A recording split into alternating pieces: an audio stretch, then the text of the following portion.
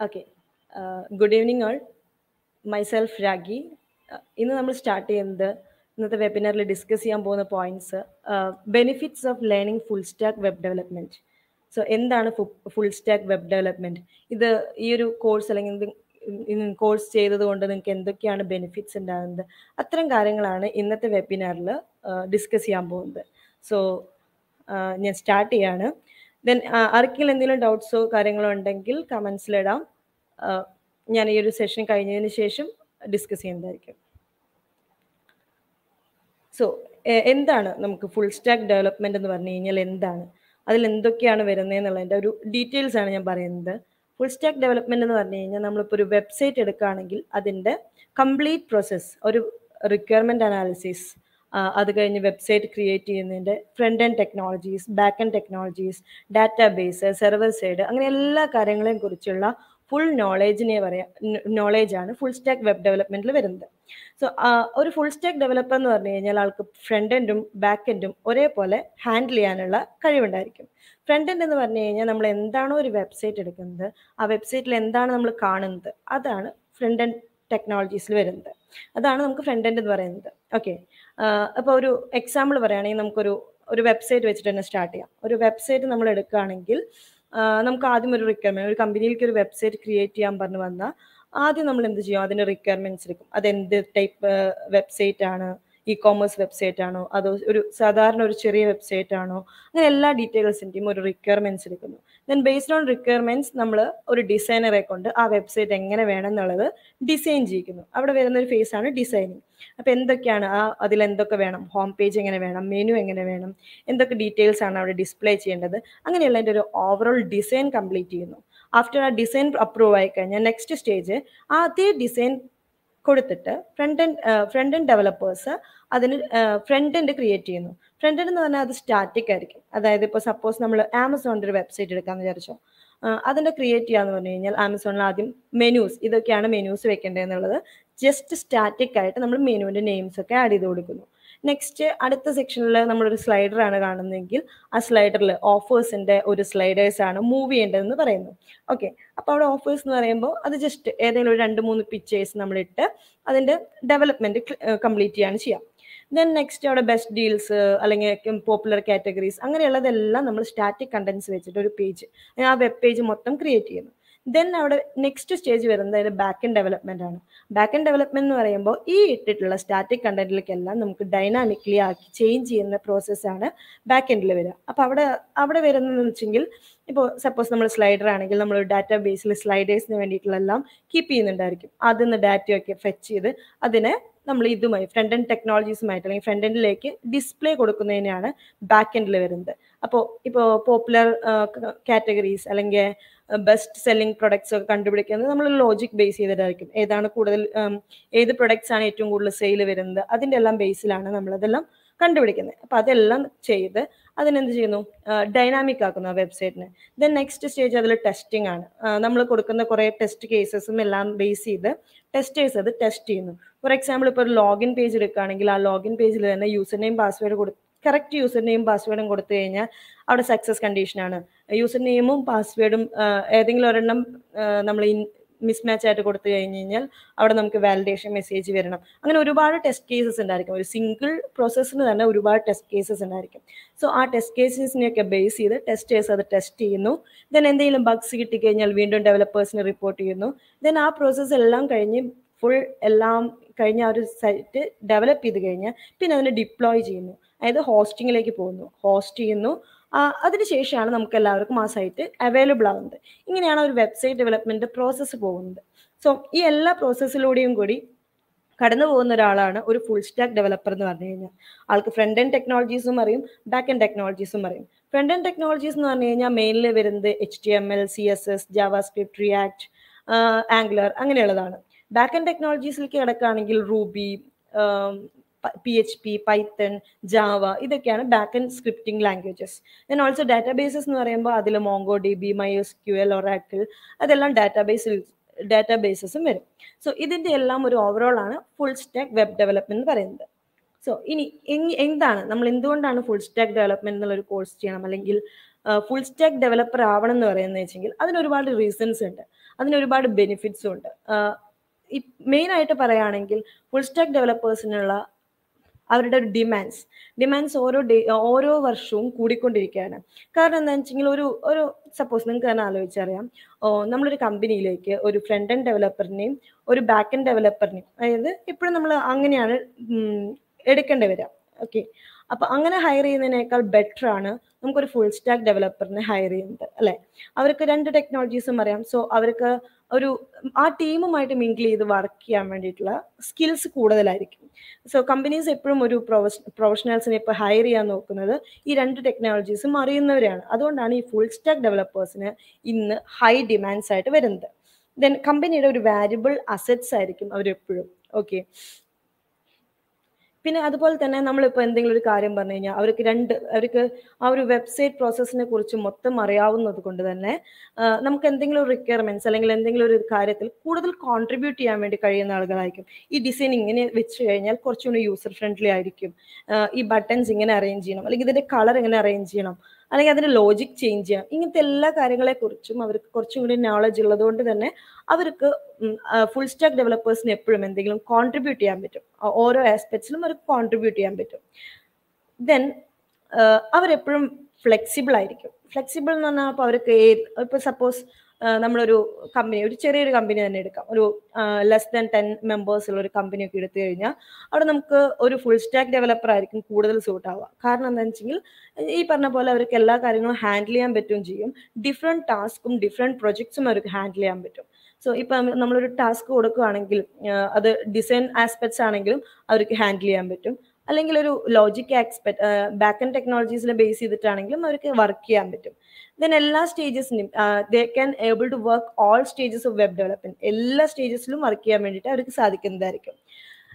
So അവരെല്ലാപ്പോഴും ഒരു full stack developer flexible ആയിരിക്കും. ഇത് നമ്മൾ നേരത്തെ പറഞ്ഞ പോലെ സ്മോൾ ബിസിനസ്സസ് അല്ലെങ്കിൽ സ്റ്റാർട്ടപ്പ് അങ്ങനെയുള്ളതെല്ലാം അവർക്ക് ഫുൾ സ്റ്റാക്ക് ഡെവലപ്പേഴ്സിനെ ഹയർ ചെയ്യുന്നത് കുറച്ചും കൂടി കോസ്റ്റ് എഫക്റ്റീവ് ആണ്. കാരണം ഇതാണ് ഈ ഒരു രണ്ട് ഡെവലപ്പേഴ്സിനെ full front end technologies handle ചെയ്യുന്ന ഒരാളെ ബാക്ക് എൻഡ് ടെക്നോളജീസ് ഹാൻഡിൽ ചെയ്യുന്ന ഒരാളെ അങ്ങനെ സെപ്പറേറ്റ് സെപ്പറേറ്റ് ഹയർ ചെയ്തതിനേക്കാൾ ബെറ്റർ ആണ് ഒരു ഫുൾ സ്റ്റാക്ക് ഡെവലപ്പറിനെ ഹയർ ചെയ്യുന്നത്. സോ അത് കുറച്ചും കൂടി കോസ്റ്റ് എഫക്റ്റീവ് ആയിരിക്കും ഒരു കമ്പനീനെ സംബന്ധിച്ചിടത്തോളം. ദെൻ ഒരു ഫുൾ സ്റ്റാക്ക് ഡെവലപ്പറിന് അവരുടെ ടീമുമായിട്ട് കുറച്ചുകൂടി മിങ്കിൾ ചെയ്യാൻ വേണ്ടി എളുപ്പമായിരിക്കും. കാരണം നമ്മൾ നേരത്തെ പറഞ്ഞ പോലെ ഓരോ സ്റ്റേജിലും ഓരോ ഡെവലപ്പേഴ്സ് ആണ് ഉള്ളതെന്ന് വിചാരിക്കും. സോ അവരെന്തെങ്കിലും പറയുന്ന ടെക്നോളജീസിനെ കുറിച്ച് ഇപ്പോൾ അവർ പറയുകയാണ് അതിലൊരു സി എസ് എസ് എറർ ഉണ്ട്. അല്ലെങ്കിൽ അതിനൊരു സ്റ്റൈൽ മിസ്റ്റേക്ക് ഉണ്ട് ഒരു സ്ക്രിപ്റ്റ് മിസ്റ്റേക്ക് ഉണ്ട്. ഇങ്ങനെ മിസ്റ്റേക്ക് എന്താണെന്ന് പറഞ്ഞു കഴിഞ്ഞാൽ അത് അനലൈസ് ചെയ്യാൻ അല്ലെങ്കിൽ അത് മനസ്സിലാക്കാനും അതിനെക്കുറിച്ച് പറഞ്ഞു കൊടുക്കാനും ഒരു ഫുൾ സ്റ്റാക്ക് ഡെവലപ്പർക്ക് കഴിയും. അവർക്ക് കുറച്ചും കൂടി പോസസീവ് കുറച്ചും കൂടി നോളജ് ഉള്ളവരായിരിക്കും. സോ ഇന്ന് എന്താണ് അവർ പറയുന്നതെന്ന് മനസ്സിലാക്കാനും കഴിയുന്നുണ്ടായിരിക്കും. അവർക്ക് വേണ്ട സൊല്യൂഷൻസ് കൊടുക്കാനും കഴിയുന്നവരായിരിക്കും full stack developers so they can understand understand understand language of both designers and developers. Then troubleshoot debug debug എന്ന് പറഞ്ഞാൽ ഇപ്പോൾ എന്തെങ്കിലും ബഗ്സ് നമ്മളിപ്പോൾ വർക്ക് ചെയ്തുകൊണ്ടിരിക്കുമ്പോൾ കോഡിങ് ചെയ്യുകയാണ്? നമ്മൾ എടുക്കുന്ന സമയത്ത് എന്തെങ്കിലും ഒരു ബഗ് കാണുന്നു. ആ ബഗ് എന്താണെന്നുള്ളത് മനസ്സിലാക്കാൻ വേണ്ടി മനസ്സിലാക്കാനും നമുക്ക് കുറച്ച് നോളേജ് ഉണ്ടായിരിക്കണം. സോ അത് എന്ത് എന്ത് എററാണ് അത് ബാക്ക് എൻഡിൽ നിന്ന് വരുന്ന അല്ലെങ്കിൽ ഒരു ലോജിക്കൽ മിസ്റ്റേക്ക് കൊണ്ട് ഉണ്ടായിട്ടുള്ള എററാണോ അതൊരു ജാവാ സ്ക്രിപ്റ്റിന്റെ എററാണ് സപ്പോസ് ഇപ്പൊ നമ്മളൊരു വെബ്സൈറ്റ് എടുക്കുകയാണ്. അവിടെ ഒരു സ്ലൈഡർ ഡിസ്പ്ലേ ആവുന്നില്ല. ജസ്റ്റ് എല്ലാ ഇമേജസും ലിസ്റ്റ് ചെയ്യാണ്. ലിസ്റ്റ് ചെയ്യുന്നത് എന്തെങ്കിലും ലോജിക്കൽ മിസ്റ്റേക്ക് ആണോ? അതോ എന്തെങ്കിലും ജാക്കുറി വർക്ക് ചെയ്യാത്തത് കൊണ്ടാണോ അങ്ങനെയുള്ള ഡീറ്റെയിൽസ് പെട്ടെന്ന് ഡീബഗ് ചെയ്യാൻ പറ്റുന്നത് ഫുൾ സ്റ്റേക്ക് ഡെവലപ്പേഴ്സിനായിരിക്കും അല്ലെങ്കിൽ ഇപ്പോൾ സപ്പോസ് നമ്മളൊരു സാധാരണ ഒരു ബാക്ക് ആൻഡ് ഡെവലപ്പർ ആണെങ്കിൽ ഇങ്ങനെ ഒരു എറർ വന്നു കഴിഞ്ഞാൽ അതിപ്പോൾ സ്റ്റൈൽ കൊണ്ടുള്ള മിസ്റ്റേക്ക് ആണോ? ജാവ സ്ക്രിപ്റ്റ് കൊണ്ടുള്ള മിസ്റ്റേക്ക് ആണോ? അങ്ങനെ എന്തുകൊണ്ട് വന്ന മിസ്റ്റേക്ക് ആണെന്നുള്ളത് അവർക്ക് അനലൈസ് ചെയ്യാൻ ബുദ്ധിമുട്ടായിരിക്കും. സോ അവരത് എന്താ ചെയ്യുക അവരത് റിപ്പോർട്ട് ചെയ്യേണ്ടി വരും. റിപ്പോർട്ട് ചെയ്തതിന് ശേഷം ഇപ്പോൾ അതൊരു ഫ്രണ്ട് എൻഡ് മിസ്റ്റേക്ക് ആണെങ്കിൽ അവരവിടെ നിന്ന് സോൾവ് ചെയ്തതൊക്കെ തരണം.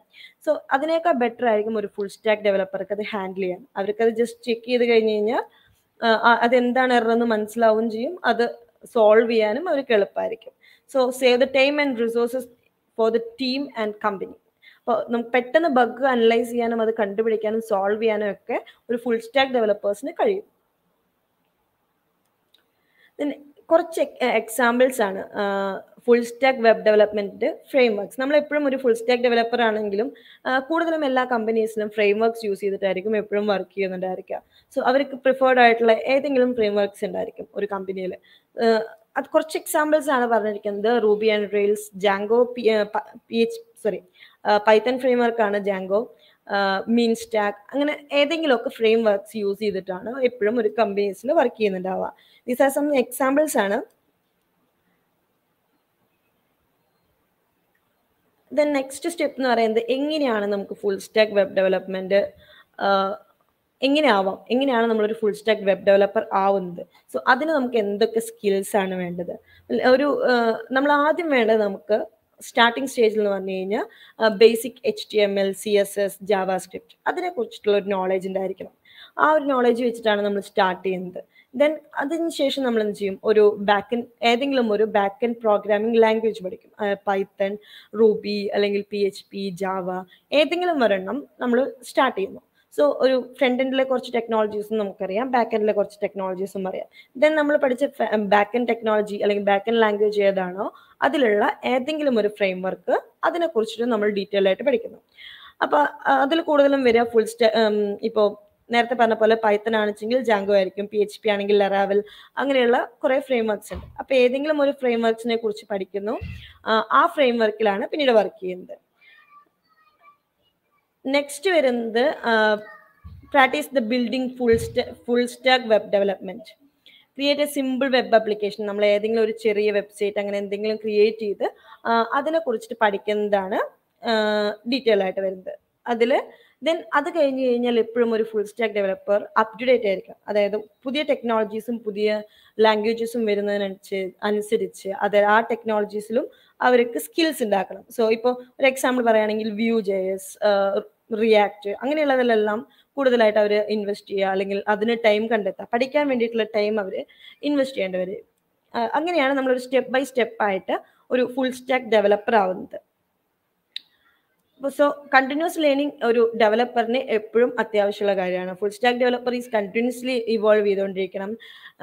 അവരെപ്പോഴും അവരുടെ സ്കിൽസ് ഇമ്പ്രൂവ് ചെയ്യാൻ വേണ്ടി നോക്കണം. ഇപ്പൊ അവരുടെ ബാക്ക് ടെക്നോളജീസ് ആണെങ്കിലും അതിലെല്ലാത്തിലും ഒരുപാട് ചേഞ്ചസ് ഉണ്ടാവും. നമ്മളിപ്പോൾ സ്റ്റാർട്ടിംഗ് സ്റ്റേജിൽ നമ്മൾ എഴുതുന്ന ഒരു കോഡിംഗ് രീതി ആയിരിക്കില്ല. നമ്മൾ കുറച്ചുകൂടി എക്സ്പീരിയൻസ്ഡ് ആകുമ്പോൾ എഴുതുന്നത്. അതിനെല്ലാത്തിലും ചേഞ്ചസ് വരും. അതിലെ ഓരോ ടെക്നോളജീസും മനസ്സിലാക്കി വർക്ക് ചെയ്യുന്നതിനനുസരിച്ച് ചേഞ്ചസ് വന്നുകൊണ്ടിരിക്കും. സോ അതേപോലെ തന്നെ നമ്മൾ പുതിയ ടെക്നോളജീസും ആക്സെപ്റ്റ് ചെയ്യണം. എന്തൊക്കെയാണ് വരുന്നത് വെച്ചെങ്കിൽ നമ്മുടെ ഇൻഡസ്ട്രിയിൽ വരുന്ന ചേഞ്ചസിനനുസരിച്ച് ഓരോ ടെക്നോളജീസും പഠിച്ചുകൊണ്ടിരിക്കണം. സോ ഇനി എങ്ങനെയാണ് നമ്മളൊരു ഫുൾ സ്റ്റാക്ക് ഡെവലപ്പർ ആവുന്നത്? നമുക്ക് ഒരുപാട് വഴികളുണ്ട് ഇപ്പോൾ സത്യം പറഞ്ഞാൽ. ഒരുപാട് വഴി എന്ന് പറഞ്ഞാൽ ഇപ്പോൾ ഒരുപാട് യൂട്യൂബ് വീഡിയോസ് ഉണ്ട്. നമുക്ക് ഇപ്പോൾ എച്ച് ടി എം എൽ പഠിക്കാൻ സി എസ് എസ് പഠിക്കാൻ ജാവ സ്ക്രിപ്റ്റ് പഠിക്കാൻ അല്ലെങ്കിൽ പി എച്ച് പി പഠിക്കാൻ പി എച്ച് പിയിൽ ഫ്രെയിം വർക്ക് പഠിക്കാൻ പൈത്തൺ പഠിക്കാൻ എല്ലാത്തിനും യൂട്യൂബ് വീഡിയോസും അങ്ങനെയുള്ള കാര്യങ്ങളും അവൈലബിൾ ഉണ്ട്. പക്ഷേ നമ്മൾ ഒരു പിന്നെ അതുപോലെ തന്നെ ഓൺലൈൻ കോഴ്സസ് ഉണ്ട്. ഒരുപാട് ബുക്സ് അവൈലബിൾ ഉണ്ട്. അങ്ങനെയുള്ള ഒരുപാട് കാര്യങ്ങളുണ്ട്. പക്ഷേ എന്റെ ഒരു പേഴ്സണൽ പ്രിഫറൻസ് എന്ന് പറഞ്ഞു കഴിഞ്ഞാൽ എപ്പോഴും ഒരു കോഴ്സായിട്ട് നമ്മൾ ചെയ്യുന്നതായിരിക്കും. കാരണം എന്താണെന്ന് വെച്ചാൽ നമ്മൾ കോഴ്സായിട്ട് ചെയ്യുമ്പോൾ നമുക്ക് എപ്പോഴും ഒരു ഇൻസ്ട്രക്ടർ ഉണ്ടാവുന്നത് വളരെ ബെറ്റർ കാര്യമാണ്. കാരണം നമ്മൾ എല്ലാവരും ഒന്ന് ഫോഴ്സ് ചെയ്താൽ മാത്രം വർക്ക് ചെയ്യുന്നവരായിരിക്കും മിക്കവാറും. അല്ലെങ്കിൽ നമുക്ക് എന്തെങ്കിലും ഒരു പെട്ടെന്നൊരു ഡൗട്ട് വന്നു. ആ ഡൗട്ട് നമുക്ക് ക്ലിയർ ചെയ്യണമെങ്കിൽ നമുക്കൊരു ഇൻസ്ട്രക്ടർ ഉണ്ടായിരിക്കണം.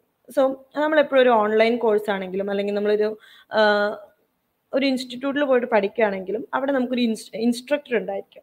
സോ യൂട്യൂബ് വീഡിയോസ് നമുക്കൊരു സ്കിൽസ് നമ്മളൊരു ഓവറോൾ ഒരു ബേസിക് സ്കിൽസ് ആയതിന് ശേഷം നമുക്ക് ന്യൂ ടെക്നോളജീസ് പഠിക്കണം. അതിനൊക്കെ നമുക്ക് കുറച്ചും കൂടിയും വ്യൂ അല്ലെങ്കിൽ യൂട്യൂബ് പോലുള്ള ഇത് യൂസ് ചെയ്യാം. യൂട്യൂബ് വീഡിയോസിൽ നോക്കി നമുക്ക് പഠിക്കാൻ പറ്റും. പക്ഷേ സ്റ്റാർട്ടിംഗ് സ്റ്റേജിൽ നമുക്ക് എപ്പോഴും ഒരു ഇൻസ്ട്രക്ടറുടെ കീഴിൽ അല്ലെങ്കിൽ ഒരു ഇൻസ്ട്രക്ടർ പറഞ്ഞു തരുന്നതായിരിക്കും ഏറ്റവും ബെറ്റർ ആവുന്നത്. സോ അതിൽ വരിക എന്ന് പറഞ്ഞു കഴിഞ്ഞാൽ ഇപ്പം നമുക്ക് ഒരു എക്സാമ്പിൾ പറയുകയാണെങ്കിൽ നമ്മളൊരു കോഴ്സ് സ്റ്റാർട്ട് ചെയ്യുന്നു. H T M L C S S അങ്ങനെയുള്ള ആ ഒരു ഫ്ലോയിലായിരിക്കും നമ്മൾ പഠിക്കുന്നുണ്ടാവുക. ദെൻ നമ്മൾ എപ്പോഴും ഒരു ഇൻസ്റ്റിറ്റ്യൂട്ട് എങ്ങനെ തിരഞ്ഞെടുക്കാന്നുണ്ടെങ്കിൽ ആ ഇൻസ്റ്റിറ്റ്യൂട്ടിൽ വർക്ക് ചെയ്യുന്ന. മീൻസ് അവിടുത്തെ ടീച്ചിങ് സ്റ്റാഫ് അല്ലെങ്കിൽ അവിടുത്തെ ഫാക്കൽറ്റീസ് എങ്ങനെയാണ്? അവർക്ക് ഇൻഡസ്ട്രിയൽ എക്സ്പീരിയൻസ് ഉണ്ടോ? അല്ലെങ്കിൽ അവർക്ക് അവർക്ക് അത്രയും എക്സ്പീരിയൻസ് ഉണ്ടോ എന്നുള്ളത് നോക്കണം അവർ പറയുകയാണെങ്കിൽ പ്രാക്ടിക്കൽ എക്സ്പീരിയൻസ് തന്നെ പറയാം. അവർക്ക് പ്രാക്ടിക്കൽ എക്സ്പീരിയൻസ് ഉണ്ടോ എന്നുള്ളത് നോക്കിയിട്ട് വേണം നമ്മളൊരു കോഴ്സ് സെലക്ട് ചെയ്യാം അതുപോലെ തന്നെ അവിടുത്തെ കോഴ്സിൽ ഇൻക്ലൂഡ് ചെയ്യുന്ന സിലബസ് സിലബസ് എപ്പോഴും അപ് ടു ഡേറ്റ് ആണോ? പുതിയ ടെക്നോളജീസ് മാറുന്നതിനനുസരിച്ച് സിലബസിൽ ചേഞ്ചസ് വരുന്നുണ്ടോ? നമുക്ക് ഇപ്പൊ ലേറ്റ് ഇപ്പൊ പഠിപ്പിക്കുന്നത് നമ്മളിപ്പോ ഒരു എക്സാമ്പിൾ പറയുകയാണെങ്കിൽ നമ്മൾ ബി ടെക് അല്ലെങ്കിൽ എന്തെങ്കിലും കോഴ്സ് ഒക്കെ പഠിക്കുകയാണെങ്കിൽ നമുക്ക് അപ്പോൾ പഠിക്കാണ്ടായിരുന്നത് സിയും സി പ്ലസ് പ്ലസ് അങ്ങനെ എന്തെങ്കിലും ടെക്നോളജീസ് ആയിരിക്കും. സോ അതെല്ലാം അപ്ഡേറ്റഡ് ആണ്. നമ്മളത് പഠിച്ചിറങ്ങി പുറത്തേക്ക് വന്നിട്ട് നമുക്ക് പ്രത്യേകിച്ച് യൂസ് ഒന്നും വരുന്നില്ല. സോ നമ്മൾ എപ്പോഴും ഒരു കോഴ്സ് സെലക്ട് ചെയ്യുമ്പോൾ അത് അപ് ടു ഡേറ്റ് ആണോ? ഇപ്പോൾ ഓൺലൈൻ കോഴ്സ് അങ്ങനത്തെ ഇത് നോക്കുമ്പോൾ നമ്മൾ ശ്രദ്ധിക്കേണ്ട കാര്യം അതാണ് കോഴ്സ് അപ് ടു ഡേറ്റഡ് ആണോ? നമുക്ക് പുതിയ ടെക്നോളജീസ് എല്ലാം അതിൽ ഇൻക്ലൂഡഡ് ആണോ? സോ അതിന് നിങ്ങൾ ആദ്യം കുറച്ച് ഇൻവെസ്റ്റ് ചെയ്യണം ടൈം അതായത് എന്തൊക്കെയാണ് ഈ ഫ്രണ്ട് എൻഡ് എന്ന് പറയുന്ന ടെക്നോളജീസിൽ വരുന്നത്? എന്തൊക്കെയാണ് ബാക്ക് എൻഡ് ടെക്നോളജീസിൽ വരുന്നത്? അത്തരം ഡീറ്റെയിൽസിനെ കുറിച്ചെല്ലാം ഡീറ്റെയിൽ ആയിട്ട് നോക്കി വെക്കണം. ദെൻ ഈ ഡീറ്റെയിൽസ് എല്ലാം നമ്മൾ നമ്മൾ എടുക്കുന്ന കോഴ്സിൽ ഇൻക്ലൂഡ് ചെയ്തിട്ടുണ്ടോ എന്നുള്ളത് നോക്കണം. ദെൻ നമ്മൾ പറഞ്ഞ പോലെ ഫാക്കൽറ്റിയിൽ നോക്കണം.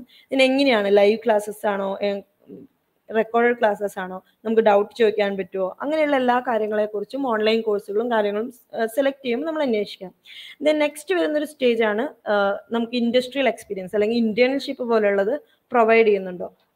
കറക്റ്റ് ഒരു ഇന്റേൺഷിപ്പ് ഏറ്റവും ബെറ്റർ ആണെന്ന് പറയും. കാരണം നമ്മൾ എങ്ങനെയാണ് ഒരു സ്ഥലത്ത് വർക്ക് ചെയ്യുക എന്നുള്ളത് നമ്മളൊരു കോഴ്സ് പഠിച്ചതുകൊണ്ട് മാത്രം വർക്ക് ചെയ്യണമെന്നില്ല. നമുക്ക് അവിടെ ഒരു എക്സ്പീരിയൻസ് കിട്ടുമ്പോൾ ഒരു ഇൻഡസ്ട്രിയൽ എക്സ്പീരിയൻസ് കിട്ടുമ്പോഴാണ് ശരിക്കും നമ്മൾ ആ കോഴ്സിലേക്ക് ഇറങ്ങി ചെല്ലുന്നത്. കാരണം ആ കോഴ്സിൽ പഠിച്ച കാര്യങ്ങളെല്ലാം നമ്മൾ യൂസ് ചെയ്യുന്നത് അപ്പോഴാണ്. സോ ഇൻഡസ്ട്രി ഇന്റേൺഷിപ്പ് പ്രൊവൈഡ് ചെയ്യുന്നുണ്ടോ നോക്കാം. നെക്സ്റ്റ് ആണ് പ്ലേസ്മെന്റ് കാരണം നമ്മളൊരു കോഴ്സ് പഠിക്കുന്നത് നമ്മൾ എപ്പോഴും നമുക്കൊരു ജോബിന് വേണ്ടിയിട്ടാണ്. സോ കറക്റ്റ് ആയിട്ട് നമുക്ക് പ്ലേസ്മെന്റ് അവർ പ്രൊവൈഡ് ചെയ്യുന്നുണ്ടോ? പ്ലേസ്മെന്റ്സ് ഏത് എന്തൊക്കെ എവിടെയൊക്കെയാണ് പ്ലേസ്മെന്റ്സ് പ്രൊവൈഡ് ചെയ്യുന്നത്? അങ്ങനെയുള്ളതിനെ കുറിച്ചും എല്ലാം നമ്മളൊരു കോഴ്സ് സെലക്ട് ചെയ്യുന്നതിന് മുമ്പ് അറിഞ്ഞിരിക്കണം. സോ അതാണ് എനിക്ക് പറയാനുള്ളത്. പിന്നെ പിന്നെ മെയിനായിട്ട് നമുക്കുള്ള ഒരു സ്കിൽസ് അതായത് നമുക്ക് പഠിപ്പിച്ചു തരുന്നത് മാത്രം നമ്മൾ പഠിച്ചുകൊണ്ട് ഒരിക്കലും ഒരു ഡെവലപ്ഡ് ആവില്ല നമ്മൾ അതിൽ ടൈം ഇൻവെസ്റ്റ് ചെയ്ത് നമ്മൾ അതിന് റിസർച്ച് ചെയ്ത് അവിടെ പഠിപ്പിക്കുന്ന കാര്യങ്ങൾ നമ്മൾ തന്നെ ചെയ്ത് പ്രാക്ടീസ് പ്രാക്ടീസ് ചെയ്യുമ്പോഴാണ് നമ്മൾ ശരിക്കും ഒരു ഡെവലപ്പർ ആവുന്നത് നമുക്ക് തന്നെ ഒരു വെബ്സൈറ്റ് ക്രിയേറ്റ് ചെയ്ത് നോക്കുക നമുക്ക് ഒരുപാട് കാര്യങ്ങൾ നമുക്ക് തന്നെ ചെയ്ത് നോക്കാമല്ലോ അങ്ങനെയെല്ലാം നോക്കുമ്പോഴാണ് നമ്മളൊരു പക്ക ഒരു ഡെവലപ്പർ ആയി മാറുന്നത്.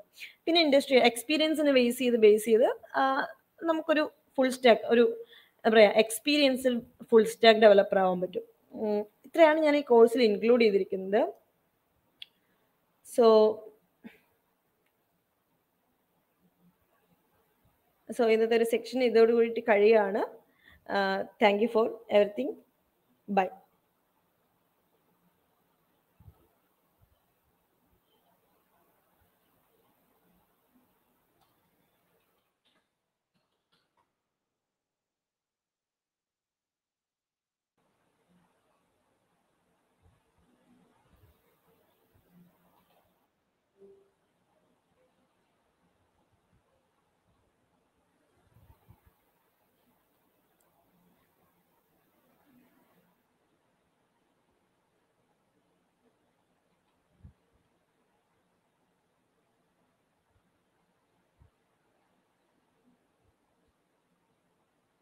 ആർക്കെങ്കിലും എന്തെങ്കിലും ഡൗട്ട്സോ കാര്യങ്ങളോ ഉണ്ടെങ്കിൽ കമന്റ് ചെയ്യാവുന്നതാണ്.